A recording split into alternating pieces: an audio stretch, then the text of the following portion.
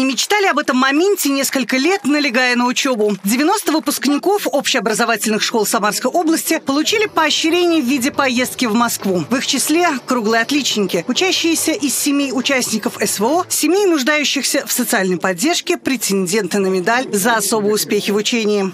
Я являюсь чемпионом по настольному теннису. Это способствовало э, моей хорошей учебе, учебе в школе. Это дало мне мотивацию и уверенность в себе. После чего я начал хорошо учиться, закончил школу на одни пятерки.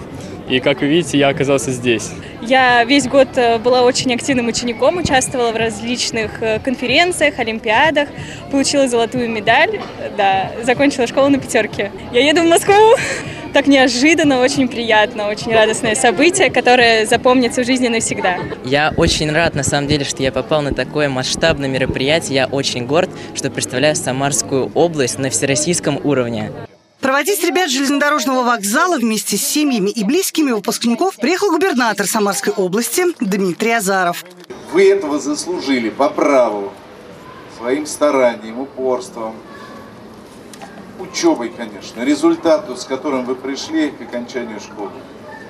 Вы заслужили это право быть в числе лучших выпускников нашей страны, нашей великой Родины России в этот день.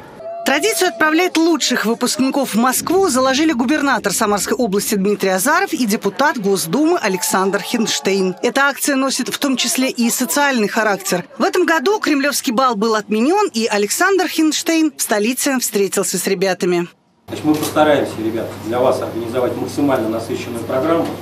Я договорился сейчас уже с Третьяковской галереей о что для вас сегодня там организуют экскурсии.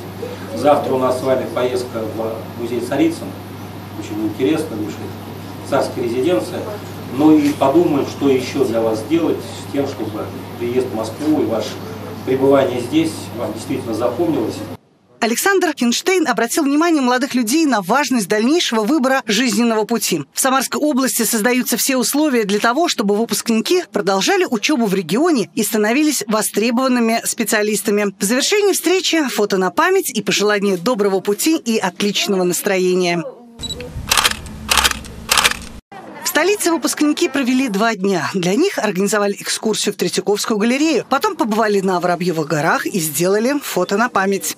Мне все очень понравилось, особенно Третьяковская галерея. И сейчас мы здесь наслаждаемся прекрасным пейзажем. Настроение отличное, все хорошо.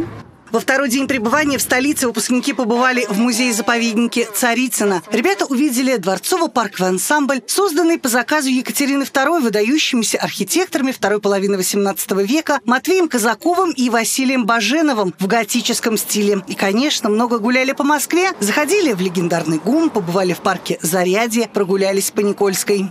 Мы увидели очень много различных московских достопримечательностей, различных старинных экспонатов.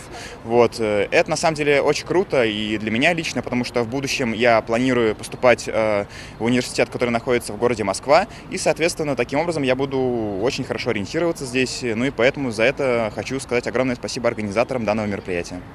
Этом году в Самарской области школы закончили почти 12 тысяч одиннадцатиклассников. Более 1800 ребят получили аттестаты о среднем общем образовании с отличием и медали за особые успехи в учении. По итогам прошедших ЕГЭ 100-бальные результаты у 188 выпускников. Из них 14 человек получили 100 баллов по двум предметам. Елена Чернявская, Константин Головин. События.